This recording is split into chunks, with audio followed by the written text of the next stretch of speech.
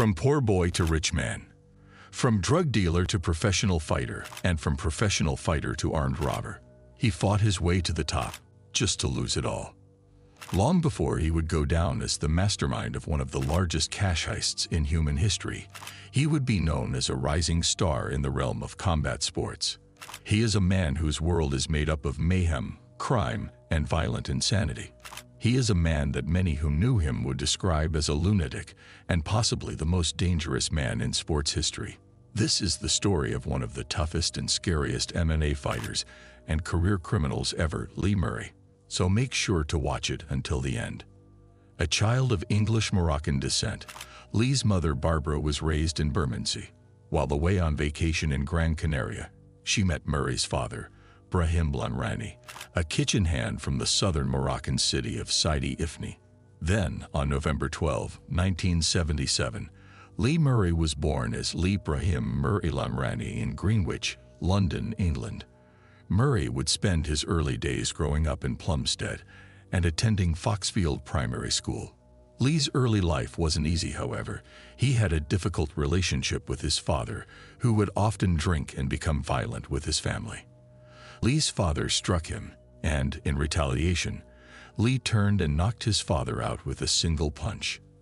A neighbor would later say, once he realized he could take down a big man like that, I think that's what changed Lee into the man he is now. Eventually, Lee's relationship with his father would grow so explosive that his father would eventually move out. This would leave Barbara to raise Lee and his younger sister Regia alone. It wasn't too long after his father left that Lee would begin attending Eaglesfield Boys' School, but after some issues arose with teachers, he was soon expelled. Lee would then be enrolled at Woolwich Polytechnic School, where he developed a fascination with American mobsters and criminals, his favorite being New York mobster and boss of the Gambino crime family, John Gotti. After completing his time in school, Lee began living on the streets in the Barnfield projects and would become a member of a street gang referred to as the Barney Boys, where their primary activities involved stealing and drug dealing. While running with the Barney Boys, Lee would meet fellow criminal and future mixed martial artist, Mark Epstein. 16-year-old Lee, now 6'3", and 185 pounds, would start to gain a reputation for being a violent individual, picking fights with people on the streets, seemingly at random. One night while out at a local disco, Lee picked a fight with nine bouncers for fun and ended up knocking every single one of them out. He would have this to say about that point in his life. Some people would probably say I was a bully, but a bully to me is someone that goes for easy targets and people who can't fight back. Me, I went for all targets. Eventually, Lee would be convicted of possession of cocaine and cannabis and be sentenced to a term at Feltham Young Offenders Institution. Once released, Lee would devote his time and energy to the gym, lifting weights to help add some muscle to his otherwise lanky build. On Christmas Eve in 1998, Lee's girlfriend Siobhan Rawlings gave birth to his daughter Lily Jane. Only a few weeks after the birth of Lee's daughter, Epstein, and dozens of the Barney boys would end up going to prison. Lee would be one of the few that would evade capture. Epstein said that he, Lee, was the only one that slipped through the net. I mean, lucky boy. But he's always been lucky. I went to prison for three years. Lee would marry his girlfriend Rollings on 24 November 2000 and make an effort to start changing his life for the better. He decided to go legit by taking up professional fighting. Lee would start his training at a local gym called London Shoot Fighters, where owner Alexis Dimitriades would say this about Lee. When Lee came in, he was a little demonic looking. Everything Lee touched broke. All of Lee's knuckles had been broken and were rock hard from being calloused over. Lee would have his premier fight on the 5th of December 1999 at an event called Millennium Brawl that was held at the Hemel Hempstead Pavilion. In a somewhat anticlimactic fight, Lee would knock out his opponent Rob Hudson in the first round, a fight so quick that Lee would earn the nickname Lightning Lee Murray. Lee was on a high and the rush from his first victory would prompt him to begin to seriously train. On the road to becoming a professional fighter, Lee Murray would have several professionally organized fights in 2000, the first being on March 12th against Mike Tomlinson. However, the night before the bout, Lee would stop off at a local pub to watch the Prince Naseem Hamed versus Vuyani Bungu fight. A patron of the bar then stood in front of Lee and accused him of stealing his seat after being asked to move. Murray allegedly knocked the man out. The man's friend, who attempted to aid him, was also knocked out. The bartender then attempted to break up the fight, but also found him unconscious when Lee slammed him with multiple knee strikes to the head. The next morning, Lee found himself unable to close his left hand. After taping up his hand, Murray relied solely on his right hand. Lee would surprisingly win the fight, stating that he caught him, Tomlinson, with a few good rights. He was rocked, so he took me down, then I caught him in a key lock on the ground and won the fight. After that, I went to the hospital and got my hand plastered up. It was broke in two places. Lee would then travel to Bettendorf, Iowa to train at the Miletich Fighting Systems camp run by former UFC welterweight champion Pat Miletich. Fellow fighter Robbie Lawler would say Lee Murray had world-class punching power. Man, he would hit the mitts, pop, pop, pop, pop, pop, and you would stop your workout because it sounded like gunfire. Lee would win his second fight against Chris Albandia, but lost the third bout of the year against Canadian submission specialist Joe Doerksen in the opening round. Lee's fourth fight of the year would end in a no contest when his opponent Danny Rushton, after Rushton collapsed in the first round due to exhaustion. Lee was quickly gaining a reputation in the sports fighting scene and found himself attending higher profile events. In July of 2002, Murray was invited to an event after party for UFC 38, even though he did not compete. Drinks were flowing and the party was getting lively. The party overflowed into the alleyway outside. When Lee's friend and trainer Pat Miletich entered the alley, as he entered, a friend of then UFC light heavyweight champion Tito Ortiz jokingly jumped on the back of Miletich and pretended to put him in a headlock. Pro fighter Tony Fryklund spotted this and assumed Miletich was being attacked. Before you know it, men are in a nearby alley and fists are flying. In the rush of the scuffle, Murray would find himself squaring off against the champion, Tito Ortiz. Pat Miletich recalls the scuffle by saying, Then I looked over, and there's Tito directly past me, taking his coat off, going after Lee Murray, and Lee Murray's backing up the alley, taking his jacket off. Tito throws a left hook at Lee Murray and misses, and right as he misses, Lee Murray counters with, like a five-punch combo, lands right on the chin and knocks Tito out.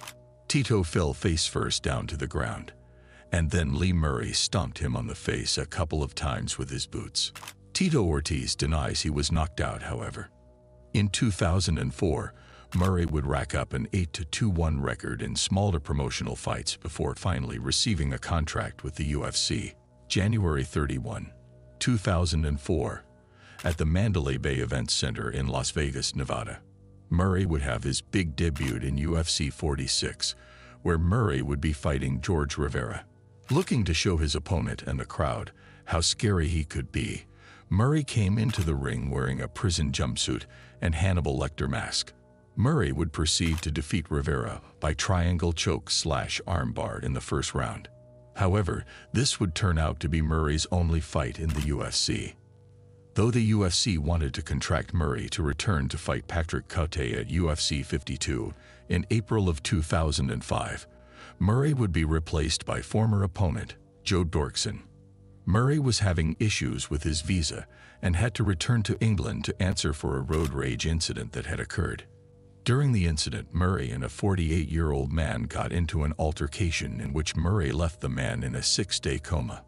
Murray's contract cancellation for UFC 52 led to him signing with Cage Rage, but this too would prove to be short-lived as well.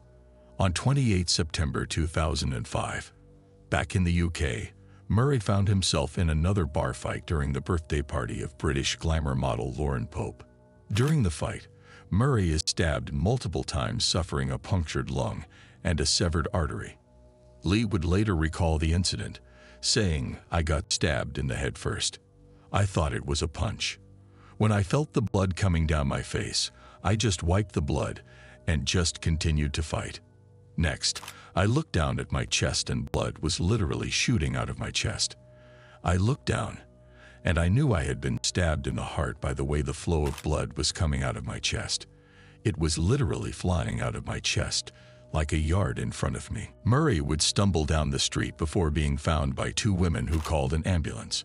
While in the hospital, the doctor had to resuscitate Murray four times during the operation, one of which times Murray would be dead for three minutes. Murray was losing so much blood that nurses had to constantly run bags of blood from the blood bank in order to save his life. Though Murray ultimately survived the attack, it would prove to be the end of his UFC career. On February 21, 2006, Colin Dixon is driving home from his day working at Securitas Depot in Tonbridge, England. He would be pulled over for speeding and ask Dixo to exit the vehicle. Dixon would comply and quickly find himself handcuffed with his feet bound and mouth gagged in the back of the cop car. Dixon would recall one of the two imposter officers saying to him at gunpoint, You will have guessed we are not policemen. Don't do anything silly and, and you won't get hurt. We are not fucking about. This is a 9 millimeters. It was then that Dixon was tied up and transferred into a white van, which drove to Elderden Farm near Staplehurst. The two men impersonating police officers then drove to Dixon's home in Herne Bay and spoke to his wife, Lynn Dixon, telling her that her husband had been in a car crash and that she and her son must come to the hospital. When Mrs. Dixon got into the vehicle, she soon realized it was not a real police car. Before she had a chance to flee, the men told her she was being abducted and pointed a gun at her. They took her to Elderden Farm, where her husband was being held. Mr. Dixon was then interrogated about the layout of the depot building and told that if he did not comply, his family would be shot in front of him. The next night, the kidnappers, as well as other conspirators, headed to the depot with Mr. Dixon and his family. As they arrived, Mr. Dixon was led into the building by a gang member dressed as a police officer as his family was held in the back of a nearby box truck. Dixon rang the bell and signaled the control room operator through a small window. The operator opened the door and let the two men through the airlock and into the building.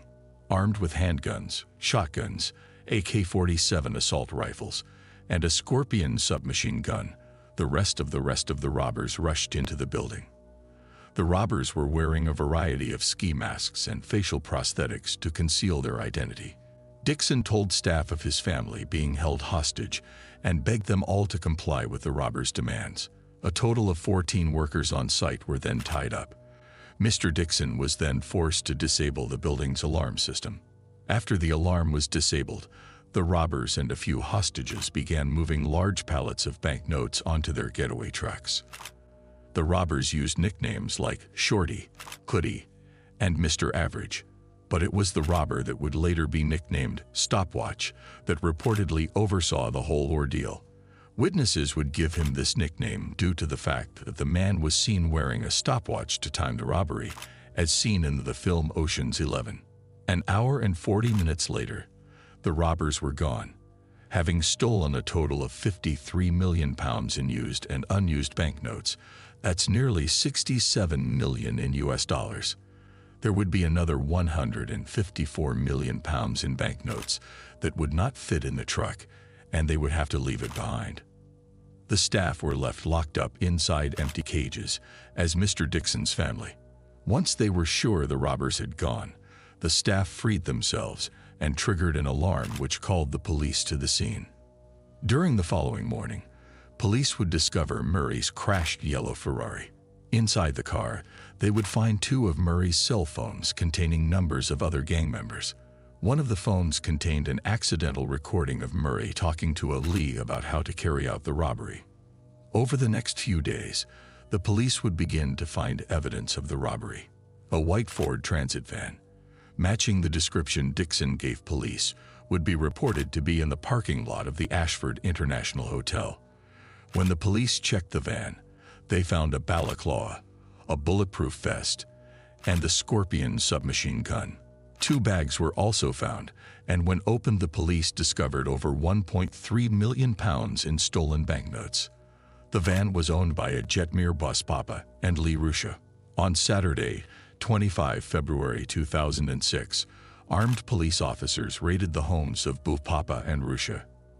At Rusha's house, police found surveillance footage of Dixon's home, weapons and plans of the depot, as well as balaclavas and a radio scanner tuned to a frequency used by the emergency services in the shed behind the house. That Monday, the police would arrest Bucpapa and Rusha in Deptford, London.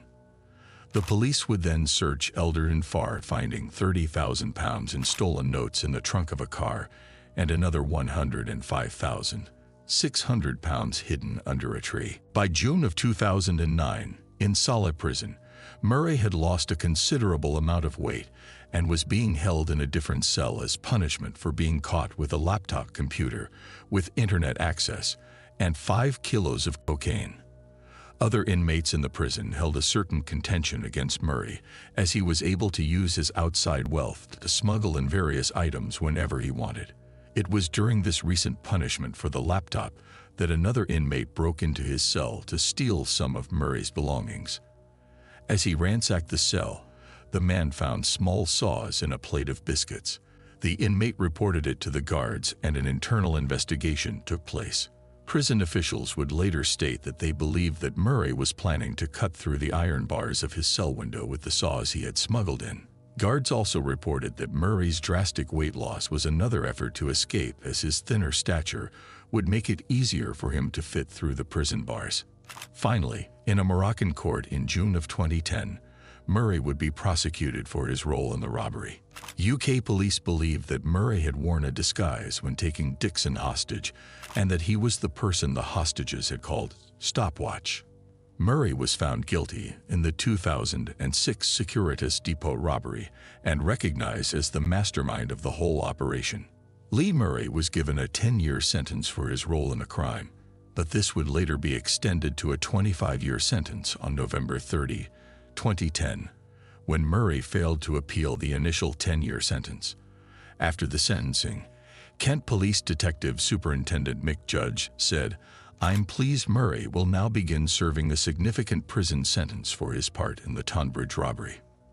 The Securitas Depot robbery would go down as the largest heist in UK history. Lee Murray is still incarcerated at Salé Prison in Morocco.